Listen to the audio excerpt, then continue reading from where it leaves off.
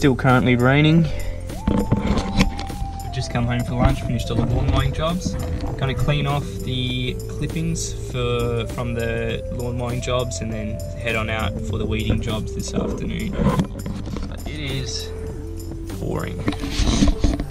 They told us it was spring. Hopefully we start getting some nicer weather.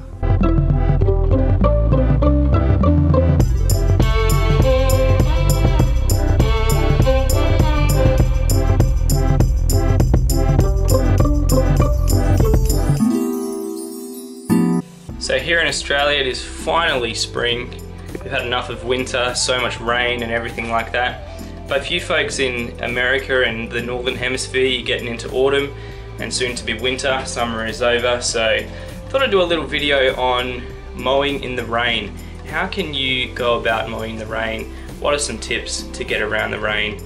How can you go about it in the best way? So the way that we do it, sometimes you get caught out in the rain obviously and you have to finish a job. Um, you're not going to leave it half done. Um, so some tips to think about when mowing lawns in the rain. So really the main problems with mowing when it's wet is obviously thatch buildup, you've got uh, streaking from it clumping on the tires, you've got, you can stain the curbing, and these are some things you really want to avoid. So tip number one, you don't want to bring the lawnmower over on the footpaths because the reason being when you mow the clippings get all over the wheels and they stick to the wheels and this can actually give the paving a grass stain from the clippings that get on the wheels. So, so when mowing, don't bring your lawnmower onto the paving or driveways or anything like that and you'll keep the footpaths nice and clear. Number two is you want to be catching. The reason being is because when, when you mow in the wet, the biggest downfall is actually the thatch that builds up. You get a lot of thatch, you get a lot of clumping.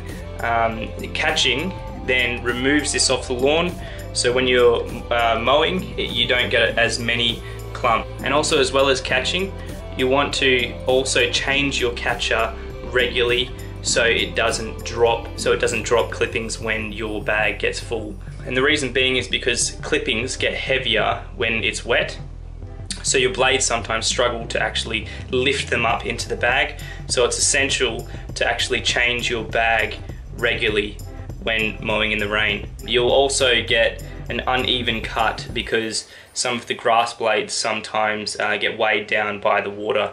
Um, so that's another thing to take notice of. Um, also, yeah, it just doesn't give a very clean of a cut. You also get streaks where the tires are um, nothing really you can do about that other than go over the lawn a couple of times and clean your wheels as you go. And another tip as well is sometimes it's good to rake just to give that extra bit of a clean um, cut to prevent that thatch and uh, clumping build up. So you get clumping along the grass when it's wet. I'm Not sure if you can see that, it's starting to rain. These are from the tires.